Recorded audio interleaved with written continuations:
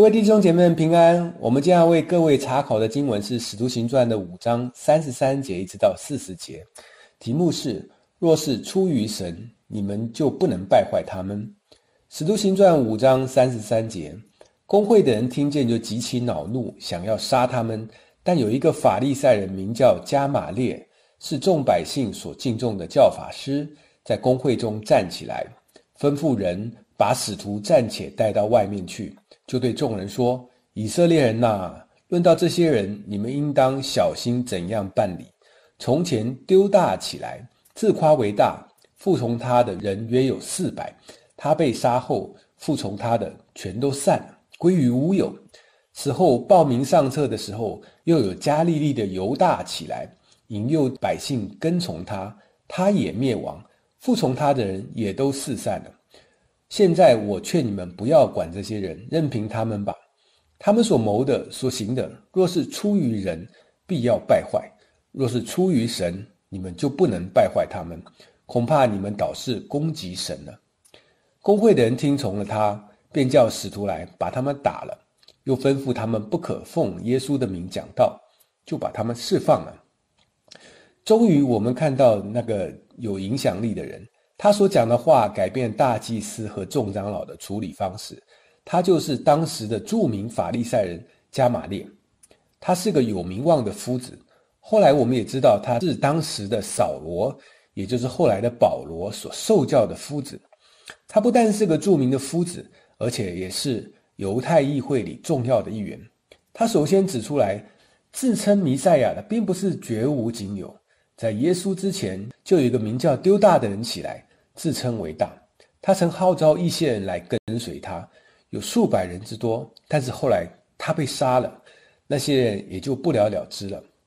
后来大约在西利王叫全国报名上册的时候，也就是耶稣降生的那一年，又有一个加利利人犹大起来了，他也是起来引诱百姓跟从他，也有许多人跟从他起来起誓，但是后来他也死了，跟从他的百姓也就四散了。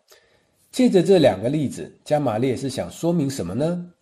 任何人以人的力量行事，他的影响力也就是在他所在那个世代。若是人死了，影响力也要自然的变质，必然也就会消散了。所以加玛列说，他们所谋的、所行的，若是出于人，必要败坏。而今天在这个端口，这些使徒们先前所跟从的耶稣已经死了。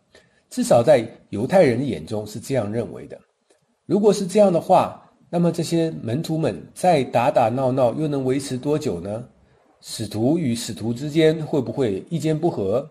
会不会有一两个使徒又起来自创门派，自以为大，最后这个组织就四分五裂，无疾而终？如果耶稣所创建的事工是凭人力所为的，那么以上所讲的事就必然会发生的。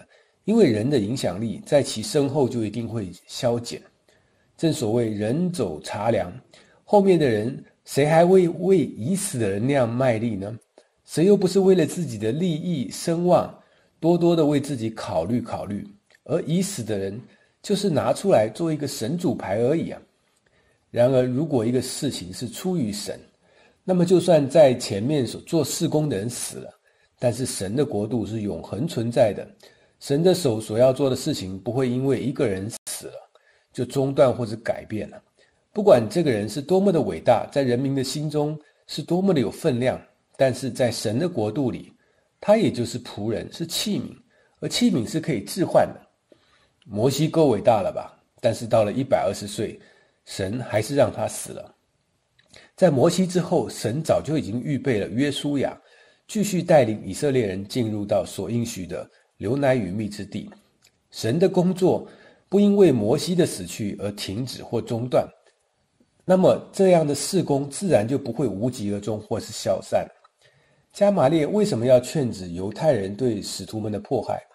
一方面他说的话是智慧的言语，因为跨过历史的事实本来就是这样子的。此外，他也看见在耶稣走后，这些使徒还是可以行神迹。所以他看到这些事工，有可能是神的手在做的。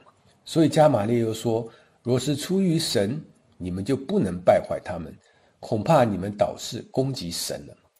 人所能看到的是非常有限，我们往往看到人世间的纷纷攘攘，神所做的事情混杂的人所做的事情，让人看不清楚。有些人可以掀起很大的波澜，让人信以为会成真。但是神所做的事工，虽然在某些时候看起来并不起眼，但是神的事工必然会成功。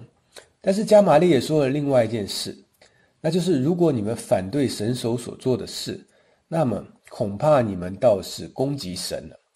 这是很多人应该要注意，但是并没有注意的。他们以为神是慈爱的，那么就算是他们肆意而行，反对神所所要做的工作，也不会有什么严重的后果。但是神可能就看这样的人是在攻击神。这些事情会有什么影响和后果呢？虽然有些人口中不说，但其实在人心当中还是会有影响。在人的深处，其实暗暗的知道这些事情。所以当加玛列一讲，他们就心头一柄。后面会发生什么事呢？我们下一篇再来告诉你们。感谢赞美我们的主，愿上帝赐福给你们，阿门。